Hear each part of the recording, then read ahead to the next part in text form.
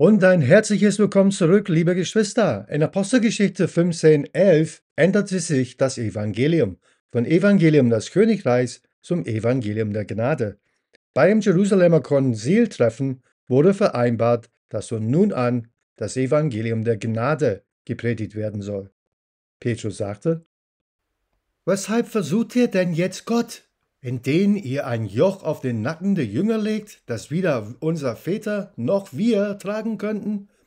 Und das ist ein erstaunliches äh, Statement von Petrus. Ne? Vielmehr glauben wir, dass wir durch die Gnade des Herrn Jesus Christus gerettet werden, auf gleiche Weise wie jene. Paulus ging zum Konzil, um seine Evangelium der Gnade vorzustellen, und deswegen gab es diesen Konflikt. Und nun Petrus sagt, Okay, Schluss mit dem den, den Evangelium des Königreichs. Vielmehr glauben wir, dass wir durch die Gnade des Herrn Jesus Christus gerettet werden, auf gleiche Weise wie jene. Jakobus steht auf und sagt, haltet euch der Götzenopfer des Blutes, den Erwürgen und den sexuellen Unmoral. Wenn sie sich davor schützen, werden sie richtig handeln. Paulus hat auch eine lange Liste mit Ratschlägen für heiliges Leben, aber die Erlösung geschieht dennoch aus Gnade durch den Glauben. Epheser 2, 8 durch 9. Denn aus Gnade seid ihr errettet durch den Glauben und das nicht aus euch, Gottes Gabe ist es, nicht aus Werken, damit niemand sich ruhm. Denn wir sind seine Schöpfung erschaffen in Christus Jesus zu guten Werken, die Gott zuvor bereitet hat, damit wir in ihm wandeln sollen. Der nächste Abschnitt des Apostelgeschichte, Kapitel 9 durch 12, verlagert sich die Schwerpunkt von den Zwölf auf Paulus und seinen Missionsdienst. In dieser Zeit wurde Saulus bekehrt und zum Apostel der Heiden ernannt. Apostelgeschichte 9, nimm es bei 13 auf. Da antwortete Ananias, Herr, ich habe von vielen über diesen Mann gehört, wie viel Böses er deinen Heiligen in Jerusalem zugefügt hat. Und hier hat er Vollmacht von den obersten Priestern, alle, die deinen Namen anrufen, gefangen zu nehmen? Aber der Herr sprach zu ihm, Geh hin, denn dieser ist mir ein auserwähltes Werkzeug, um meinen Namen vor Heiden und Könige und vor die Kindern Israels zu tragen.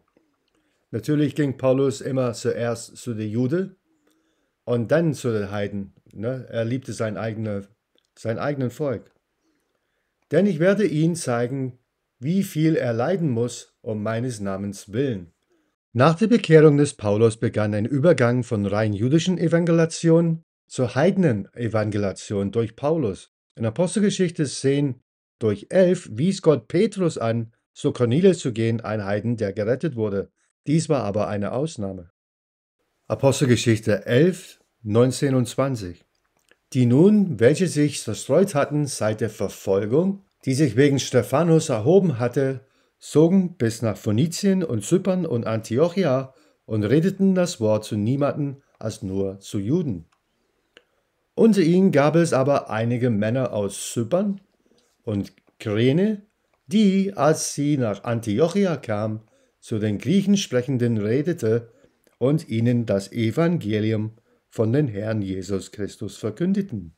Die Evangelisierung des Petrus an Cornelius war ein einzigartiges Ereignis. Er hatte keinen anderen nichtjüdischen Dienst. Andererseits ging Paulus zuerst zu den Juden und dann zu den Griechen. Römer 1, 16 und 17. Vers 16. Denn ich schäme mich des Evangeliums von Christus nicht, denn es ist Gottes Kraft zur Errettung für jeden, der glaubt, zuerst den Juden und dann auch für den Griechen. Denn es wird darin geoffenbart die Gerechtigkeit Gottes aus Glauben zum Glauben, wie geschrieben steht, der Gerechte wird aus Glauben leben. In Apostelgeschichte 11 wird von der Kirche in Antiochia berichtet hier, die die erste Kirche mit Nichtjuden werden sollte. In Apostelgeschichte 12 wurde Petrus verhaftet und eingesperrt, nicht von den Juden, sondern von Herodes Agrippa I. Petrus seine Freilassung aus dem Gefängnis durch den Herrn war das letzte Mal, das wir von Petrus sehen, abgesehen von seiner Teilnahme am Jerusalemer Konzil in Apostelgeschichte 15, etwa elf Jahre später. Im letzten Abschnitt Apostelgeschichte Kapitel 13 durch 28 verlagerte Lukas den Schwerpunkt seiner Geschichte von den Aktivitäten der Zwölf und der Jerusalemer Kirche auf die Missionsreisen und den Dienst des Paulus. In dieser Zeit wird berichtet, dass Paulus zuerst zu den Juden in den Synagogen ging. Nachdem die Juden die Botschaft des Paulus abgelehnt hatten, wandte er sich an die Heiden. Dies geschah dreimal in Apostelgeschichte 13, 18 und 28. Außerdem zeichnete Lukas während dieser Zeit drei Berichte über die Bekehrung des Paulus und sein Zeugnis vor drei Herrschern auf: Felix, Festus sowie Agrippa und Bernice. Der Apostelgeschichte begann in großer Hoffnung. Die Juden hatten ihren Messias gekreuzigt, aber er war von den Toten auferstanden. Die Hoffnung blieb lebendig, dass Gott sein lang erwartetes Königreich errichten und die Bundesversprechen an Israel erfüllen würde. Petrus setzte die von der Nation geforderte Botschaft der Taufe und Reue fort, die mit Johannes der Täufer begann hatte. Lukas berichtete, dass der große Teil der Nation nichts davon haben wollte. Sie weigerten sich, Böses zu tun und auf Petrus zu hören. Später predigte Paulus, der zum Apostel der Heiden ernannt wurde, zunächst den Juden. Paulus wollte unbedingt, dass die Juden erkannten, dass Jesus der versprochene Messias war. Römer 9, 1 durch 3.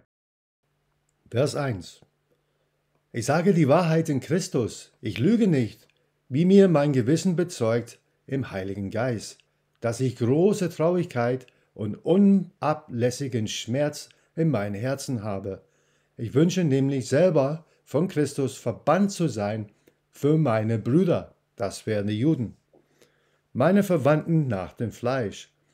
Die Israeliten, da haben es, die Israeliten sind, denen die Sohnschaft und die Herrlichkeit und die Bündnisse gehören und die Gesetzgebung und der Gottesdienst und die Verheißungen. Paulus glaubte, dass die Nation Israel, die Juden, gerettet werden konnte, seit er gerettet worden war. Niemand hatte sich eifriger gegen Jesus von Nazareth gestellt als er. Aber es sollte nicht sein. Lukas berichtet von drei deutlichen Ablehnungen der Juden gegenüber der Argumentation des Paulus, dass Jesus der Christus sei. Als die Apostelgeschichte mit großer Hoffnung für Israel begann, endete sie mit einem klaglichen Scheitern. Das Buch endete mit den Worten, so sollt ihr nun wissen, dass das Heil Gottes zu den Heiden gesandt ist. Apostelgeschichte 28, 28.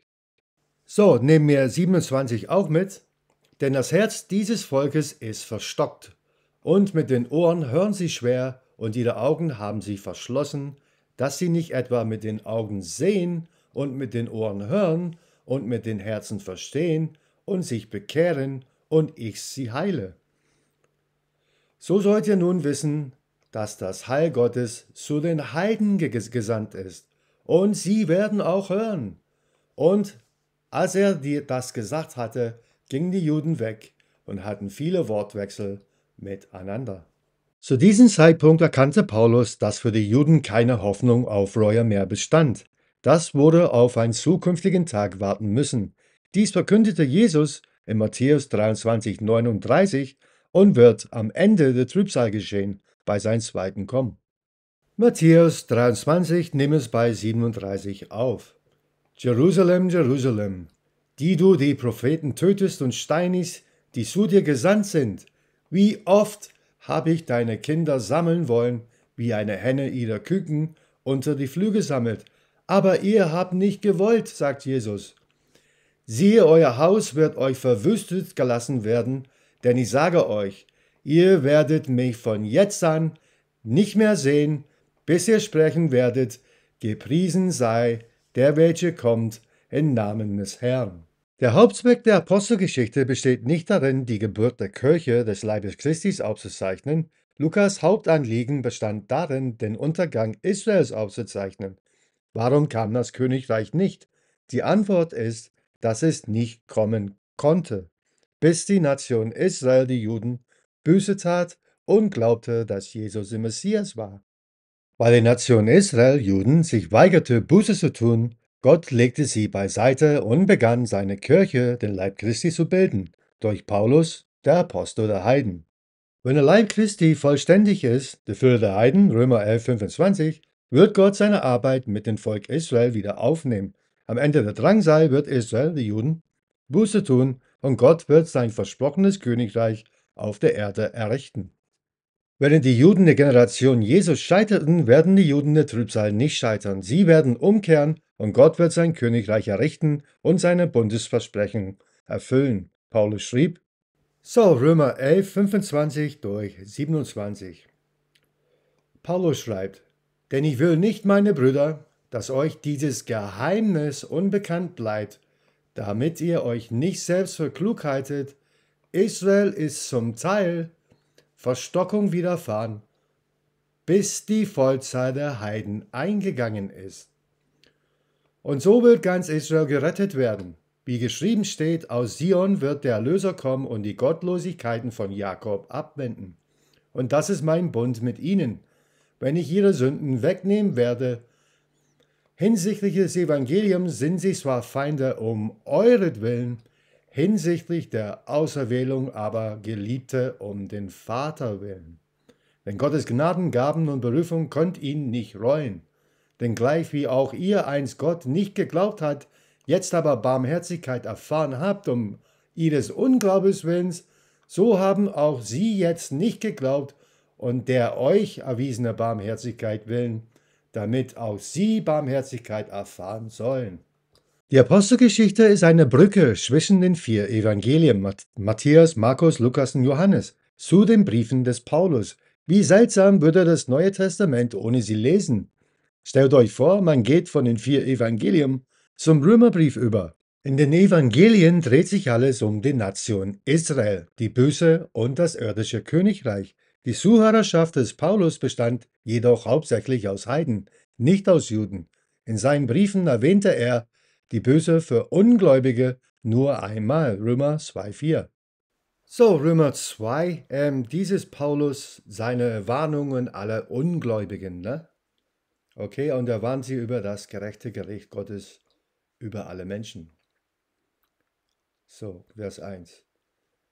Darum bist du nicht so entschuldigen, nur Mensch, wer du auch seist, der du richtest. Denn worin du den anderen richtest, verurteilst du dich selbst. Denn du, der du richtest, verübst ja dasselbe. Wir wissen aber, dass das Gericht Gottes der Wahrheit entsprechend über die ergeht, welche so etwas verüben. Denkst du etwa, o oh Mensch, der du richtest, welche so etwas verüben und doch das Gleiche tust, dass du dem Gericht Gottes entfliehen wirst? Oder verachtest du den Reichtum seiner Güte, Geduld und Langmut und erkennst nicht, dass Gott Gottes Güte zu Büße leitet? Hier sehen wir klar und deutlich, dass Paulus hier spricht zu Ungläubigen. Ne? Sonst sagt er immer, meine Brüder oder, ne? Vers 5. Aber aufgrund deiner Verstocktheit und deines unbösfertigen Herzens, da haben wir es. Er spricht zu Ungläubigen, ne? weil die sind unbösfertig. Heuste dir selbst Zorn auf für den Tag des Zorns und der Offenbarung des gerechten Gerichtes Gottes. Halten wir da an, das hier alles betrifft uns nicht. Wir glauben, wir sind gerechtfertigt, wir sind äh, in Christus, wir sind versiegelt worden mit dem Heiligen Geist der Verheißung, Epheser 1, 13. Und das hier ist, ähm, ist zwar hier furchteinflößend, ne? aber das sollte so sein, so war Paulus halt. Aber der spricht hier so Unbösfertigen. Ne? Nicht so uns. Wir glauben, wir sind gerettet, wir werden entrückt. Okay? Nimm das Vers wieder. Aber aufgrund deines Verstocktheit und deines unbösfertigen Herzens häuse dir selbst Zorn auf für den Tag des Zorns und der Offenbarung des gerechten Gerichtes Gottes, der jeden vergelten wird nach sein was? Seine Werken. Aus Gnade sind wir gerettet, nicht aus uns, nicht aus Werken, damit niemand sich ruhm. Denen nämlich, die mit Ausdauer im Wirken des Guten Herrlichkeit, Ehre und Unvergänglichkeit erstreben, was bekommen wir? Ewiges Leben. Denen aber, die selbstsüchtig und der Wahrheit ungehorsam sind, dagegen der Ungerechtigkeit gehorchen, Grimm und Zorn. Wann beginnt der Zorn? Wenn Jesus das erste Siegel öffnet. Offenbarung 6. Und was noch? Drangsal und Angst und über jeder Menschenseele, die das was? Das Böse vollbringt, zuerst über den Juden, dann auch über den Griechen. Herrlichkeit aber und Ehre und Friede jeden, was, der das Gute tut, zuerst den Juden, dann auch noch den Griechen, der Heide. Denn bei Gott gibt es, ein, gibt es keinen Ansehen der Person. Alle nämlich, die ohne Gesetz gesündigt haben, werden auch ohne Gesetz verloren gehen. Und alle, die unter dem Gesetz gesündigt haben, werden durch das Gesetz was? Verurteilt werden. Und niemand kann das Gesetz halten. Es gab nur einen Mann auf der ganzen Erde, der das Gesetz gehalten hat und ans Kreuz genagelt hat, und das war Jesus. Wer, wer das Gesetz hier gerecht werden wollte, der sei verflucht. Wir sind unter der Gnade und nicht unter dem Gesetz. Denn vor Gott sind nicht die gerecht, welche das Gesetz hören, sondern die, welche das Gesetz befolgen, und das kann keiner, sollen gerechtfertigt werden. Wenn nämlich Heiden, die das Gesetz nicht haben, doch von Natur aus tun, was das Gesetz verlangt, so sind sie, die das Gesetz nicht haben, sich selbst ein Gesetz, da sie ja beweisen, dass das Werk des Gesetzes wo? In ihren Herzen geschrieben ist, was auch ihr Gewissen bezeugt, dazu nämlich ihre Überlegungen, die sich untereinander verklagen oder auch entschuldigen an den Tag, da Gott das Verborgene der Menschen durch Jesus Christus richten wird. Nach was? Nach mein Evangelium. Paulus sein Evangelium ist 1. Korinther 15, 1 durch 4. Zu glauben, dass Jesus für unsere Sünden gestorben ist, beerdigt worden, begraben worden ist und von den Toten auferstand. Dadurch sind wir gerettet. Was Lukas in Apostelgeschichte 15 aufzeichnet, entspricht dem Hauptzweck des Buches. Es war ein Bericht über den Untergang Israels zu liefern. Paulus schrieb an die Römer im allerersten Kapitel, dass er sich des, seines Evangeliums nicht schämte, weil es in Macht war, jeden zu retten, zuerst den Juden und auch den Griechen. Das Evangelium oder gute Nachricht, bekannt als ist der Kern aller unseres Umgangs mit Gott. Von der Zeit an, als Gott Paulus rettete und ihm das Evangelium von der Gnade Gottes offenbarte, bis zum Konzil von Jerusalem konnten Männer und Frauen eine Zeit lang gerettet werden, indem sie das Evangelium des Reiches oder an das Evangelium der Gnade Gottes glaubten. Mit anderen Worten, für eine kurze Zeit bis zum Konzil von Jerusalem gab es zwei gültige Evangelien. Das Evangelium vom Königreich, das Jesus während seinen irdischen Dienst verkündete und das Evangelium der Gnade, das Paulus offenbart wurde von Jesus himmlischen Dienst. Aber nach dem Konzil konnten Männer und Frauen nur gerettet werden, indem sie an das Paulus-Evangelium glauben. Was ist 1. Korinther 15, 1 4? So, das Evangelium der Gnade. Ich erinnere euch aber, ihr Brüder, an das Evangelium, das ich euch verkündet habe, das ihr auch angenommen habt, in den ihr feststeht, durch das ihr auf was? Gerettet werdet, wenn ihr an dem Wort festhaltet, das ich euch verkündet habe, es sei denn, dass ihr vergeblich geglaubt hättet. Denn ich habe euch zuallererst das überliefert, was ich auch empfangen habe, nämlich, dass Christus für unsere was? Sünden gestorben ist, nach den Schriften und dass er begraben worden ist und dass er auferstanden ist am dritten Tag nach den Schriften. Dies ist unser Evangelium, ne? durch das wir gerettet werden. Ne? Und durch dieses Evangelium wird Gott die Geheimnisse der Menschen richten. Das schauen wir uns auch an. Römer 2,16 haben wir vorhin auch gelesen. An dem Tag, da Gott das Verborgene der Menschen durch Jesus Christus richten wird, nach was? Nach mein Evangelium. Sein Evangelium haben wir gerade gelesen, das Evangelium der Gnade. Gott wird das Verborgene der Menschen durch Jesus Christus richten nach sein Evangelium, also nach das Paulus-Evangelium, 1. Korinther 15, 1 4. Es ist also Zeit, diese Videoserie über die Apostelgeschichte und ihren Zweck abzuschließen. Vergessen wir nie, wir stehen unter der Gnade und nicht unter dem Gesetz. Wir sind gerechtfertigt, wir sind versiegelt, deshalb hat die Sünde keine Herrschaft über uns, wir sind von Blut Christi bedeckt.